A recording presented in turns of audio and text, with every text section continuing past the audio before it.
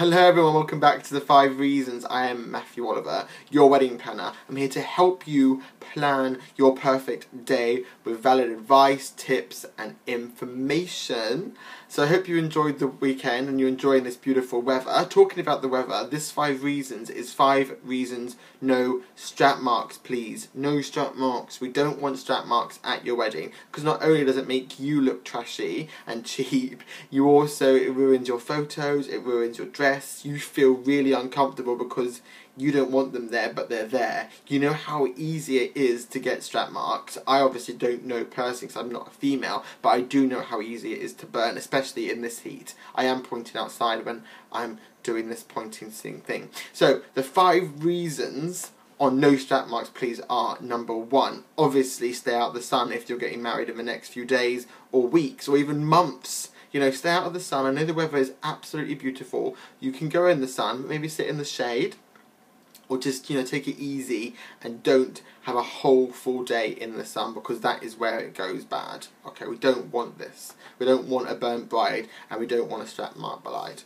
Second reason if you are going out in the sun make sure you wear at least 50 you know 50 plus suntan lotion. Yes you might not go beautifully brown but at least you're protecting yourselves you know? Because that is the worst thing.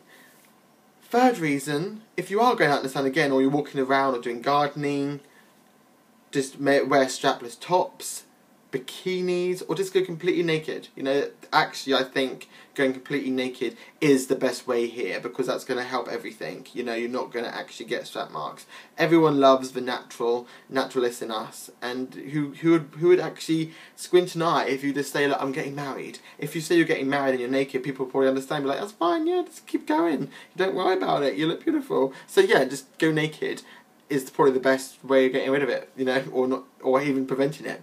Um, fourth reason, make sure you tell your bridesmaid exactly the same, because if I had a bridesmaid and she came to my wedding with strap marks, I'll fire her. I'd be like, sorry, you're not a bridesmaid anymore with that awful look. So make sure it's so good for you to know what to do, but bridesmaids are a bit slow and don't exactly know what to do unless they've been married before. If they've been married before, they understand the, the importance of no strap marks. But if they haven't, they're going to go out in the sun and they're going to get brown and they're going to love it, you know, so soak up all the rays. So just make sure you tell your bridesmaids that we don't want strap marks, otherwise just fire them. And I'm sure they'll understand because I would, or they won't understand straight away, but if you explain the reasons why, then yes, they'll understand.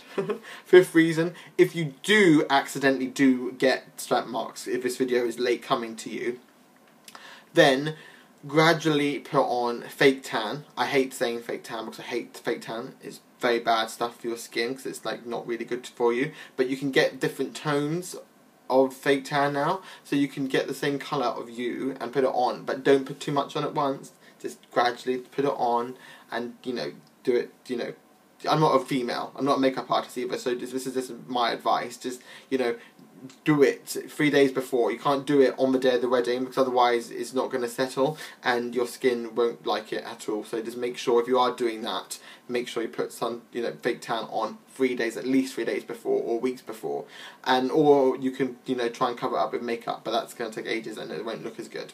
Um, so these are the five reasons on no strap marks. But if you do this, then it's not going to happen. I know you know it's obvious. This video is obvious, but it's not because people are still going out there with like um, you know vests on, and you're going to obviously get strap marks, and it is such a hot at the moment. You know, it's so hot at the moment, so why wouldn't you? But people don't listen. So anyway, hope this video helps, and I love you all. Stay tuned, share the videos, and if you have any ideas or want anything covered, then just send me an email. Love you all, and have a great day. Strap marks, no strap marks, suntan lotion, tell bridesmaids. Love you. Bye bye.